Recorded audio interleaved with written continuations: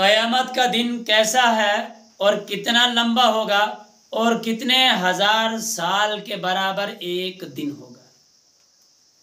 रसूलुल्लाह सल्लल्लाहु अलैहि वसल्लम ने फरमाया, क़यामत का दिन बहुत सख्त है और इंतहाई सख्त और शदीद है और उसकी लंबाई, उसकी मकदार पचास हज़ार साल के बराबर एक दिन होगा। अल्लाह अकबर। और उस दिन सूरज इंसान के बिल्कुल नज़दीक, बिल्कुल करीब होगा और उसकी गर्मी से लोग अपने पसीनों में डूब जाएँगे।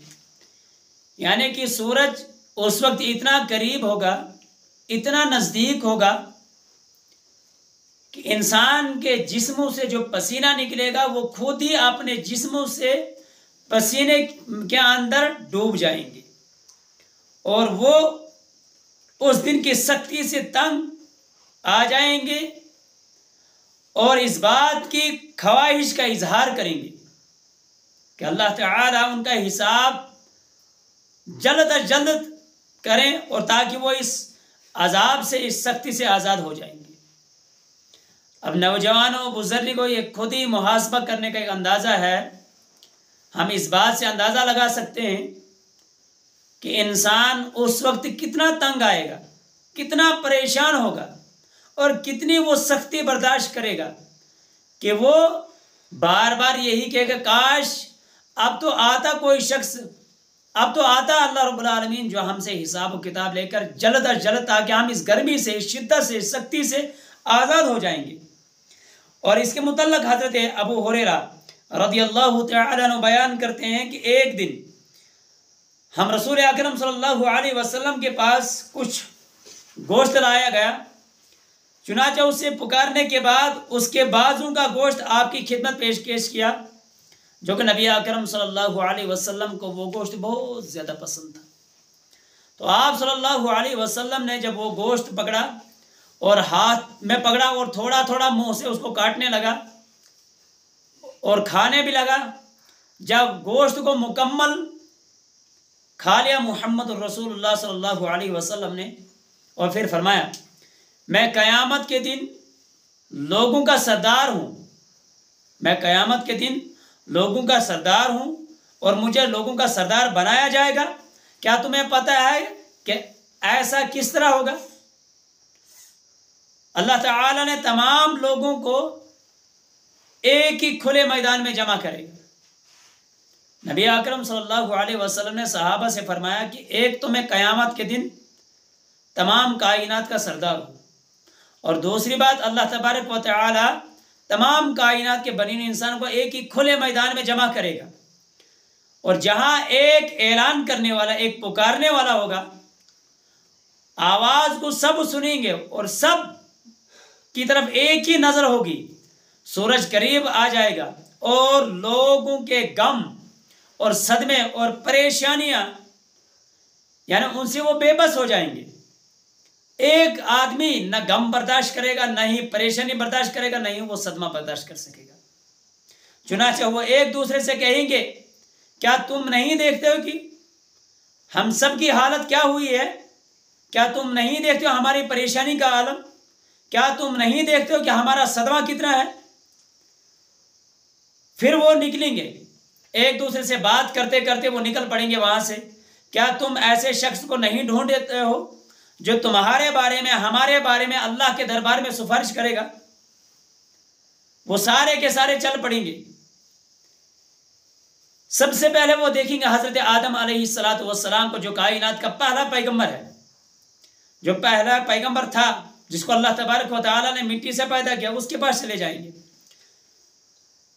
और आपको अल्लाह आदम सलाम से कहेंगे कि आपको अल्लाह ताला ने अपने हाथों से पैदा किया और आप में अपनी रूह से रूह फूकी और इसने फिर बाद में फरिश्तों को हुक्म दिया और फरिश्तों ने आपके सामने सजदा किया। अब आप अपने रब के यहाँ सिफारिश करें। तो आदम सलाम लोगों से अपनी औलाद से जवाब देंगे। क्या आप नहीं देखते हो कि हमारी हालत क्या हो रही है? क्या आप नहीं देखते हो हमारी परेशानी का आलम क्या है? हज़रत आदम वसलाम जवाब देंगे, बेशक मेरा रब आज इतना गजबनाक है जितना आज से पहले न था, न ही वो आज के बाद होगा। लेकिन आज के दिन के लिए अल्लाह तबारक व तमाम कायनात के बरीन इंसानों पर इतना गजबनाक है और फिर आदम सलात वसलाम से कहेंगे कि और उसने मुझे दरखत के करीब जाने से मना किया था। लेकिन मैंने उसकी नाफरमानी की थी, इसलिए नफसी नफसी आज तो मैं आज तो मुझे अपनी ही फ़िक्र लाक है। तुम मेरे अलावा किसी और के पास चले जाओ। यानी कहो कि आदम सलाम भी इनकार करेंगे कि मैं सिफारिश नहीं कर सकता हूँ क्योंकि मुझसे खुद गलती सरजद हुई है। वो गलती क्या थी? कि अल्लाह तबारक वाली ने जिस दरख्त के पास मुझे बिठाया था मैंने उस दरख्त की नाफरमानी करके दूसरे दरख्त के पास चले गया था। फिर वो चले जाएँगे दूसरे बंदे के पास सलात वसलाम दूसरा पैगंबर जो है सलात वसलाम उससे भी जब अपनी तमाम फरियादें पेश करेंगे कि हमारा आलम हमारी परेशानी हमारे सदमा देखो तो सलात वसलाम भी उनको जवाब देंगे कि आप आ, मैं आपके बारे में सिफारिश नहीं कर सकता हूँ कि आप नहीं देखते हो हमारी हालत क्या हो रही। फिर सलात वसलाम को उनके पास जवाब होगा, बेशक मेरा रब आज इतना गजबनाक है कि जितना आज से पहले नहीं था, न आज के बाद होगा। और मैंने अपनी कौम के लिए बदुआ की थी। गो कि नूह भी अपना एक उज्र बयान करेंगे कि मैंने अपनी कौम के लिए बदुआ की थी। इसलिए मुझे बदुआ करने की इजाज़त नहीं थी। और नफसी नफसी तो आज तो मैं अपनी फ़िक्र पर, परेशान हूँ। तुम इब्राहिम आलतम के पास चले जाओ। लोग आदम से भी खाली हाथ लौटेंगे। हज़रत नूह सलाम से भी खाली हाथ लौटेंगे। अब चले जाएँगे वो तीसरे बंदे, तीसरे पैगंबर के पास, हज़रत इब्राहिम सलाम के पास। हज़रत इब्राहिम सलाम से कहेंगे ये इब्राहिम, आप तो अल्लाह के नबी और तमाम अहल ज़मीन में से आप ही उसके खलील थे, यानी दोस्त थे। और क्या आप नहीं देखते हो कि हमारी हालत, हमारी परेशानी, हमारा आलम क्या है?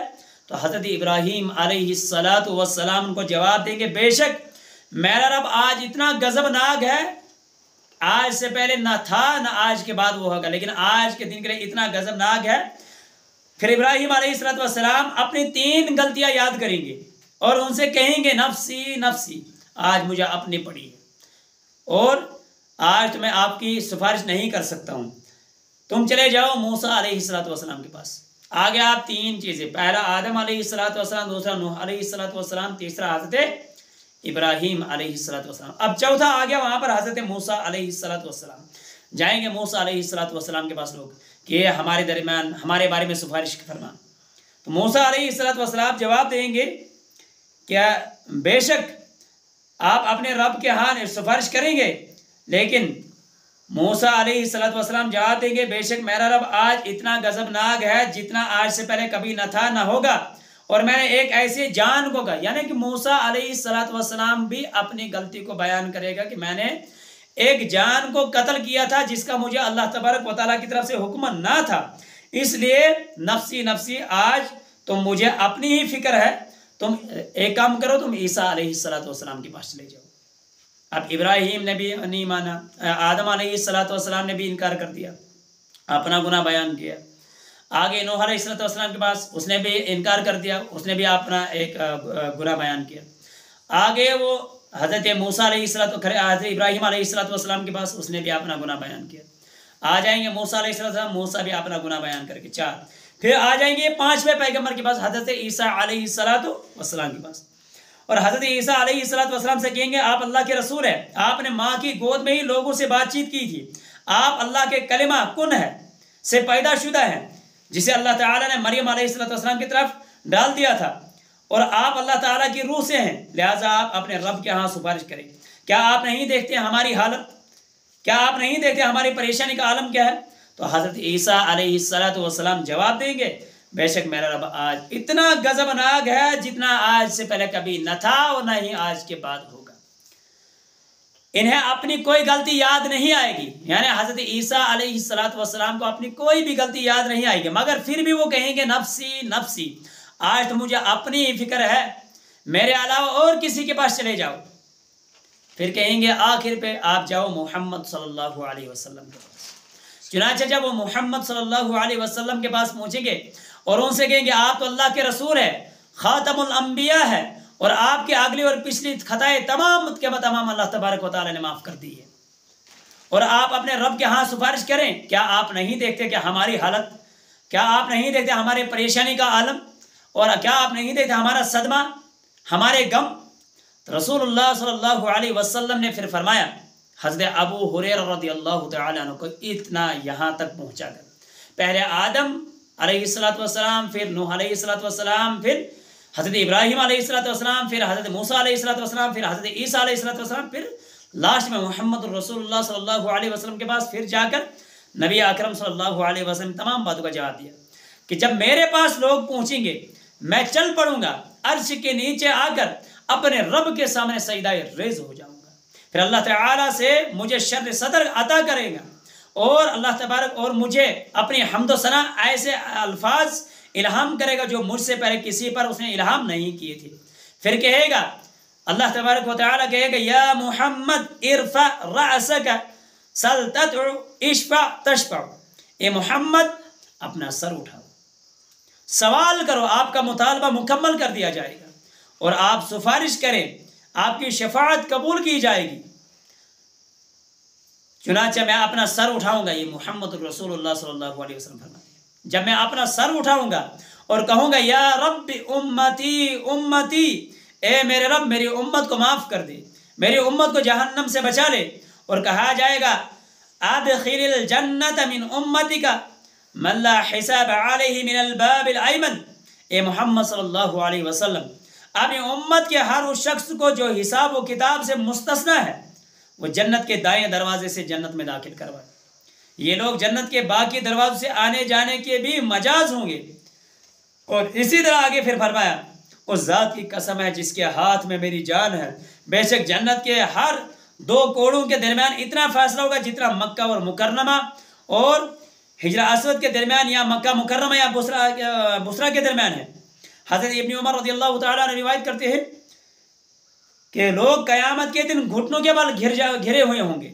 हर उम्मत अपने नबी के पीछे जाएँगे और कहेगा, ये फला सिफारिश कर ए फला सिफारिश कर। यहाँ तक कि शफात के लिए हज़रत मोहम्मद सल्लल्लाहु अलैहि वसल्लम से कहा जाएगा। और यही वो दिन है जब अल्लाह ताला ने आप सल्लल्लाहु अलैहि वसल्लम को मकाम महमूद पर फाइज करेगा।